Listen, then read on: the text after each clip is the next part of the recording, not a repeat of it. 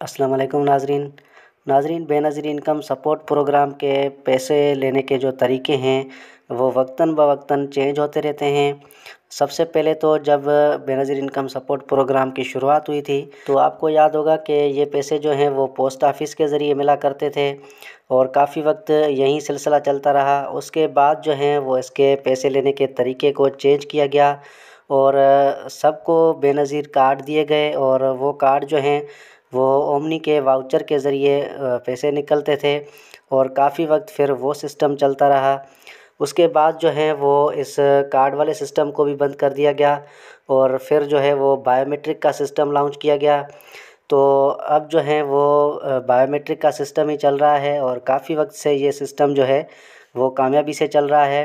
मगर अब जो है वो बी आई एस पी ने ये फ़ैसला किया है कि अब हम इस सिस्टम को भी ख़त्म कर रहे हैं और एक नया सिस्टम जो है वो लॉन्च कर रहे हैं। अब ये कौन सा सिस्टम लॉन्च होने जा रहा है, इसके लिए आप शाजिया मरी की ये वीडियो क्लिप देखें, उसके बाद आगे हम इस पर डिस्कस करते हैं।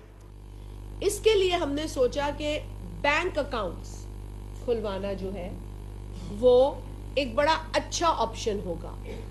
इससे क्या होगा उस औरत को, जिसको कभी भी बैंक ओनरशिप का मौका नहीं मिला, उसको बैंक अकाउंट की ओनरशिप मिलेगी।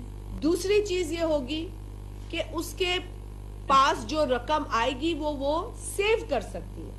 वो उसको बचा सकती है उस अकाउंट में। उस पर ये जो है वो कंडीशन नहीं होगी कि जल्दी से जाए किसी पॉस एजेंट की मदद से या किसी और रिश्तेदार की मदद से।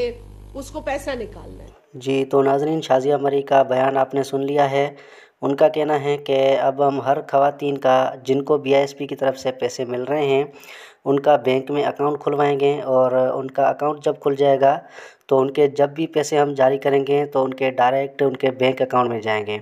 और जब चाहे वो अपने पैसे निकलवा सकेंगे और बड़ी आज़ादी से उनको पैसे मिलेंगे, क्योंकि काफ़ी बैंकों को ये जो है वो सिस्टम दिया जाएगा।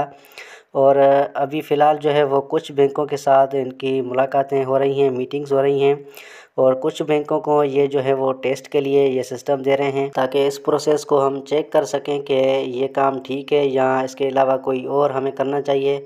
अगर ये काम ठीक से चलता है, ठीक से काम करता है तो पूरे पाकिस्तान में जितने भी बी आई एस पी के बेनिफिशरीज़ हैं, उन सारे बेनिफिशरीज़ को बैंक में अकाउंट खुलवाया जाएगा और उनको हो सकता है चेक बुक फराम किए जाएँ ताकि जब भी चाहें वो अपने पैसे चेक के ज़रिए वसूल कर सकेंगे।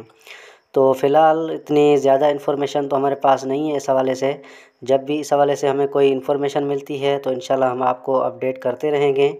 मिलते हैं किसी और वीडियो में, तब तक के लिए अल्लाह हाफ़